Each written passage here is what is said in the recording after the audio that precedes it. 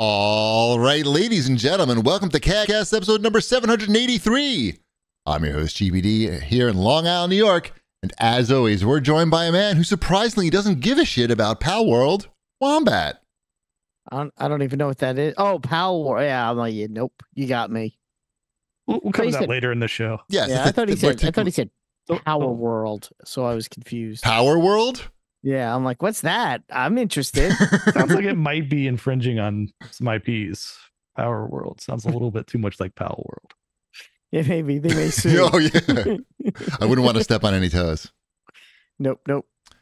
Um, That's actually, funny. I'm gonna write, let me write down Power World so I can get back to that project later. Sounds like a good idea. I recommend it.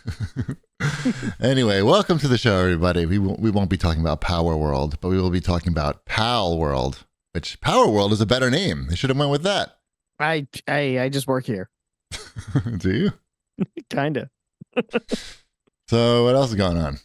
So here's my story. Ready? This is I a said I- story. I said I had a funny story. Maybe you'll find it funny. Maybe you won't. I don't want to like oversell it because Right. last time I thought I had a story you would enjoy and you didn't. so let's just agree that it's a story. It's a it's a hundred percent a story. Okay. So you know for for the last like four months now, I've been having like a monthly telehealth doctor appointment with a bariatric doctor. You know, going through the whole weight loss thing and the exercise basically keeps me honest when a doctor talks to you and says, "How are you doing? Have you Right. lost any weight? And here's what you could be doing, and here's what I think you should be doing." So I had my call today, but the doctor I had been seeing left the practice. So today was my first call with the new bariatric doctor. So I'm going through it, and he's you know he's a nice guy. He's young. He's you know probably around shipwreck's age, and uh, you know we're younger Like, than me. We're, we're we're like two years difference at max, right? I know it's a joke. Uh, and uh, and so we're you know going through the stuff. It's like, oh, so what exercise are you doing? And I go, Was that the I've funny been part going- of the story? huh? that was that the funny part of the story. That was the funny part of the story. So I go, yeah, I've been going to Orange Theory like twice a week now for the last, you know, what how long, how long it's been for almost four months now. And you know, I try to go and I do this when I'm home, and he's like, oh, this no Orange Theory, that's great, that's great. And he's writing down his notes, and then he looks up at me and he pauses for a second, and he goes, "What Orange Theory do you go to?" So I tell him the location of the Orange Theory that I go to. Yeah. And he looks at me again, and he goes, "Do you go Thursdays at 7:30?" I go, yes. He goes, You're in my class. That's crazy. so my new doctor is someone that I go to Orange Theory with every week. Is he going to correct your form if you're not doing the bicep no, curls he said he he basically was like, Hey, don't worry about it. It's not like I'm gonna I'm not gonna, you know, be a pain in the ass in class. I'm not gonna like say anything when we're in class. This is, you know, it's all Better not. it's all different there. He's off the books. He's I mean, off the he's books. Off the clock, rather. But you did laugh, so I guess it is kind of a funny story that That's it's pretty. That's a pretty big coincidence. that's a crazy coincidence. You didn't get more excited when you said Orange Theory because, like, I would definitely get. I, you know, I always want I to talk think he was sort Theory. of like in the zone of being objective, like a doctor. right. just writing know, shit down. He's writing shit down, and then I think once he wrote it down and like took it because it's telehealth, so it's like you know, it's, Oh, wait! So it's, it wasn't- it's a telehealth thing from your town, basically, or close. I mean, well, he doesn't work in it. The office is not that close, but yeah, but, that's, it's that's so weird. Like, you figure, like, if you're gonna do telehealth, you might as well like do it to somebody far away. No, that's not Why- weird. Well, no, that's not the point. Is to do Oh. it with a doctor that's good. That's all that oh, matters. Oh, but you have the whole like world to choose from. Like, why would it just seems like what a coincidence? Not only that the doctor's right there. The ping was low connected in. That's how it works. They need, you know, they need as many frames per second. No, as it's- it's really at your- more- matchmaking at this I- point. I could uh, go in- with doctors. Yeah, I could go into an office if I wanted to. It's really more for my own convenience. I see. Okay, okay. So you have the doctor first, and then like they offer you the the telehealth option. Yeah, exactly. And I'm like, yeah, I'll do that because then I okay. don't have to like, then I only have to like block an hour out of my day as opposed to blocking an hour and a half or an hour 45, depending upon traffic. And st- yeah, because I'm here. I just have to hit the button. And he was running early. So I was even done earlier than expected. but that was today, and it was just very funny because again, I know he even because he emailed me some notes after, like some other unrelated stuff. But at the end of his email, he, go, he put, "See you tomorrow at Orange Theory." well, more importantly, how's his rowing form? I'll have to let you know. I'll pay attention. Because you've never really noticed him before. No, I mean, Yeah. he looked when he said it. I was like, "Oh, I think I do know who you are." Right. You know, I I kind of from other like aspects of it because yeah, I definitely know. There's not that many dudes in the class, probably, in the no, first place. So yeah, so it's definitely kind of crazy I that could recognize uh, all the guys, I think, in my class because there's like three. yeah. Uh, So it was just very funny and very strange. And what are the chances? And that is yeah. funny and strange. Mhm. I agree. Yeah. Yep. And a that was- story. And it's story. So it's a hat and trick. its story. I was all of my promises. I upheld my end of the bargain. nice. Speaking of Orange Theory, All I right, got bread's done. I got my personal record on the mile run on the treadmill, seven minutes and ten seconds, which is That's very good. which is eight seconds better than my previous one. Cool. And uh, I was very excited about that. Very proud of myself because I couldn't even run the mile in high school gym class. Like in under ten minutes, I couldn't even do it. And uh, I finished third on the leaderboard of old people at my studio in the fifty in the fifty uh, decade, five decade group. Yeah. I checked my leaderboards and the the best score was also the person that was 60 plus. Nice. How well was So- it? I forget what it was, but it was something ridiculous. And I'm like, that's insane. What was weird is I looked on my like the best scores in my studio, and it was like two or three of them were coaches, and I was like, you can't. The coaches can't compete and have their names on the scoreboard. Like if they that's just some shady Is that against the rules? it's against my rules. Okay. They're getting Mhm. paid to be fit, and we're paying to be fit. That's different. I don't know. gotta cut- My my coach always takes takes the class after mine. right, but and I she feel always- like they shouldn't She be always allowed to says be on something the about leaderboard. it too. Like- she's she's like, I don't want to do this. I just Maybe watched all of you to- do it. Yeah, maybe they're there to like give you aspiration of like, hey, I'm right here with the coach. They are that is great, but don't steal my spot on the leaderboard.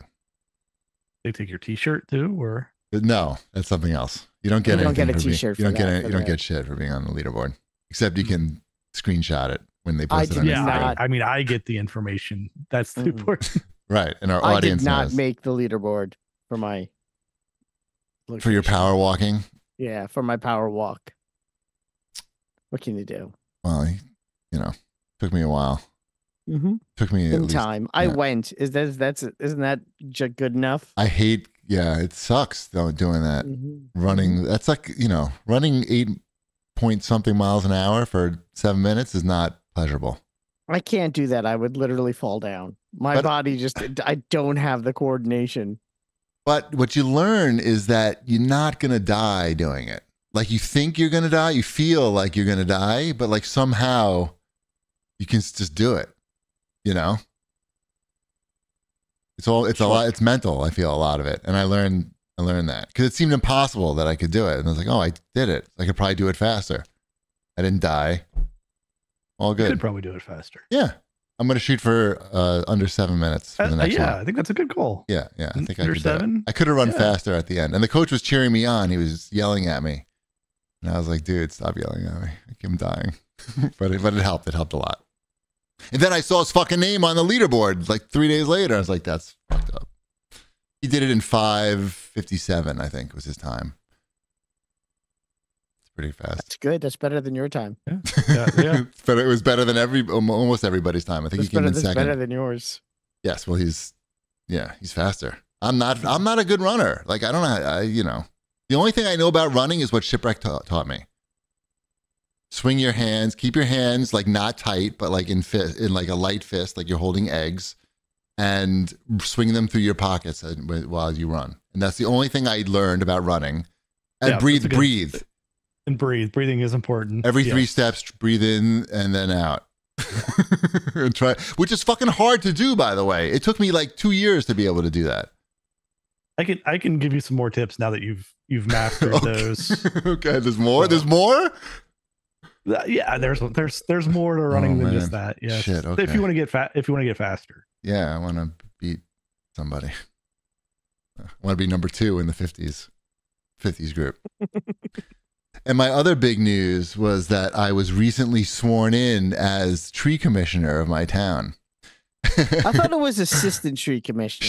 Wait, Shut up, No, you. No, no, no. Alternate. Alternate, was it alternate alternate tree. tree, com- Okay. Alternate tree commissioner If is the we're- official title. If we're being technical, Mhm.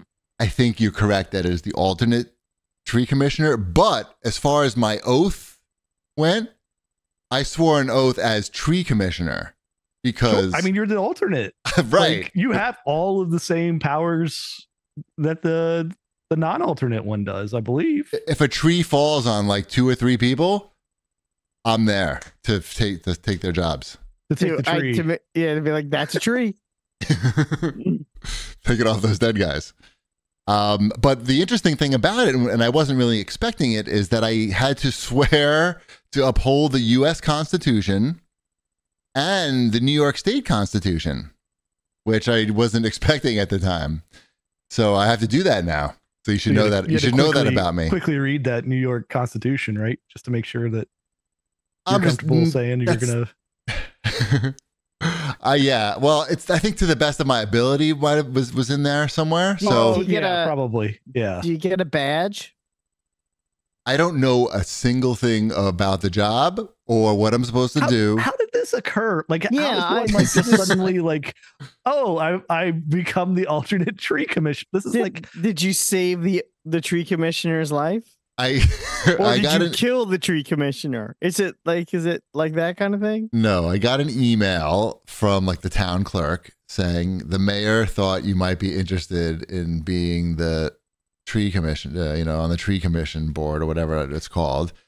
Um, it's entirely possible that they just went through the town list in alphabetical order and my name came up was first. Just thinking. or that the mayor the mayor knows who I am because she lives close to me and We've got to just- get this guy to stop talking about the parking signs. No, it was no, like she doesn't who know about has that. sent That's not us her the job. most emails in 2020? No, no, never, never, never, never. She doesn't have to deal with that at all. That's a totally different thing. She doesn't deal with me. I've mm-hmm. never bothered her. That's not true. I did tell them to put in another stop sign or do something about it. But, but it was one time in, in 10 years, nine years. It's like not a big deal. Obviously, It They made an wa- impression. Made an impression. Th- So I was. is this is a man who know, knows how things should be done around here, and I'm going to learn. we I, I need think. some trees to like. uh, What do So you, do you did have- you just like hit champagne bottles? No, the idea is the idea is people want to cut down trees to do to improve their property. And the town rules state that you can't cut down trees of a certain size. And if you do, there's fines. And you have to get permission to cut down trees and there's a process. So is it trees of a certain like girth or height? You've I've you, pretty should know the answer to this. I when called upon to discharge my duties, I will Yeah. be fully equipped mentally with the rules and have everything on and hand. the ruler. and a ru- whatever I need to do the job, I will I will have that at my disposal. But at this moment, all I had to do was just uphold the United States Constitution and the New York State Constitution. Um, and as after I was sworn in, that like one of the board members was like, "So no insurrections," you know, because then I wouldn't I wouldn't be upholding my oath. I understand. Yeah. So That's pretty funny. yeah. Was there a bagel breakfast after? no, it was at night. Oh, I had to show up to like the local ta- the nighttime town meeting, and no one was uh, there. It was just me. gotcha. I, I thought it might be like a bar mitzvah service where afterwards you get bagels. It wasn't a big deal. Okay. It- that was just besides the oath, I, I can't was wait. I can't wait for the the story, like, I know the, this is the gonna be super story. stressful story that you have to deal with some tree somewhere. And It's- some some woman who's It's not the tree, upset. Ship. It's not the tree. The trees are fine. They just sit there, whatever. It's the people that's the problem. Some very Mm. upset woman who you told can't cut her tree down, and she's like, "How dare you!" Right. And then they just cut it down anyway and pay like the $250 fine or $500 fine because they're rich anyway. Because You can't Yeah. tell me what I can and can't do at my own property. Right. I don't know if there's, well, well, I'll let you know. So far, nothing. So far, you have all the information. And I'm, I'm loyal to the U.S. and New York State. Exactly. Until yeah, I can't wait for them to find out that the that the uh, actual tree commissioner was at the uh was in Washington on January sixth. What's the New York State motto? Do you know? Excelsior. Is it okay? Yeah, it's the Marvel thing. Mhm. Is that where they got it? yes. Okay. Good. Good to know. Um, Yeah. Discharging my duties. Ah, I thought you did that before we did a show. It was just it was just a big fart. good to Let's know. yeah yeah. I had a um a roast hot roast beef sandwich today with mozzarella, bacon on toasted garlic bread hero. Long Island classic hero. Every town has like a different name for it. Ours was the main street here. And let me tell you something, it was delicious sandwich, but at like six o'clock, that felt very heavy inside of me. Yeah, I feel like that sandwich never needs the bacon. Is that No, it needs the bacon. things- Does it need the bacon? Yes. Oh yeah, yeah, yeah. Bacon's the key. It needs all that. It needs know. the roast beef to be nice and soft, though, which this one was. Anyway, let's do some show feedback. Let's see if the duty is soft though when it comes out. I don't know. It feels like it's gonna be it might be might be trouble. Might need to get the hanger. So Cham Pipple has to say, Cham Pipple D has to say, two episodes in a row with an epic wombat rant. Is he now the CAGcast Andy Rooney? I've always been the CAGcast Andy Rooney. I love it. Hope someone pisses you off this week. I mean, not yet, but I guess it's still early. Right. Yeah, there's time. There's time. Just read the chat. All right. Yeah, totally. I'll try not to. Uh Viper139 has to say the Remedy versus Rockstar case is very odd. This is in reference to the lawsuit over the letter R or not lawsuit, but I guess I don't know. Cease Complaint. desist. Complaint. I think. Yeah, whatever they're calling it. The companies are on good terms. I thought they were not. And Remedy are currently working on another Max Payne game. I did not know that either. Maybe they are. Uh, that Rockstar will be publishing. Do we know that ship? I feel like that's something you would know. I feel like I've heard that, but I don't. I mean, to be honest, I didn't like Max Payne three. Did Remedy? Remedy didn't have anything to do with Max Payne three. I don't right? think they did. it felt like they did not.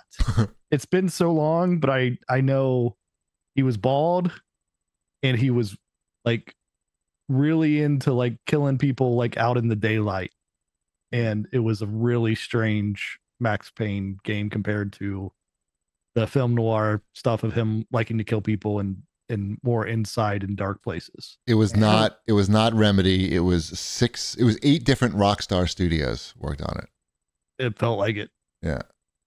Um. So yeah, I think Remedy could make a good Max Payne game because they've they've done that twice. Um, and it makes sense if Rockstar's publishing it because I'm guessing nobody else. I'm guessing they have the IP. I think they own it. that? Yeah, I think it's theirs. It's theirs. So I don't know. I'll I'll play it. They should get Marky I'll- Mark to do the voice work and just have his likeness. Well, James McCaffrey, the original Max Payne voice, passed away last month. Yeah. Don't don't use him No, that would be difficult. or AI voice. you know, line. I worked on that audition. really? Yeah, Max, the, with- from the Max Payne audition. yeah, for Max Payne with James McCaffrey, who got the who got the gig back 150 years ago. How was his breath? Very good, Oh, Nice. nice guy, good guy. My guess Bad. with this Rockstar Remedy uh, thing is they just have to like protect their Yeah, mark they just have to be like, I don't know. This is kind of in our realm. Like, even if they don't have a chance. something our way to say Yeah. like we're protecting this. yeah, right. Exactly. Exactly. Exactly. Yeah. That.